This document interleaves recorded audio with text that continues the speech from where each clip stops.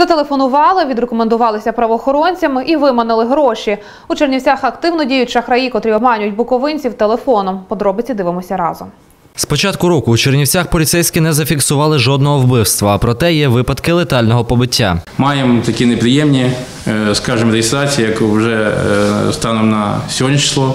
У нас є три факти завдання тяжких тілесних ушкоджень, е, що фактично спричинило в подальшому смерть Також полісмени виявили 66 фактів шахрайства у місті. Переважно телефонні злодії дистанційно виманюють гроші у буковинців. Позвонили, представилися працівниками правоохоронного органу, за начебто там, що у вас син там, чи чоловік затримані правоохоронним органом для вирішення питань. У Чернівцях зафіксували 293 крадіжки. Майже половина випадків це крадіжки з автомобілів. Нещодавно поліція вже затримала групу осіб, яка займалася такою незаконною діяльністю. які вже на протязі там е, осені і буквально цих місяців скоювали крадіжки е, з автомобілів вечірній час. Це в основному предметом були акумулятори. Наразі за фактом ведуть розслідування. Олександр Докін, Андрій Дротюк, Чернівецький промінь.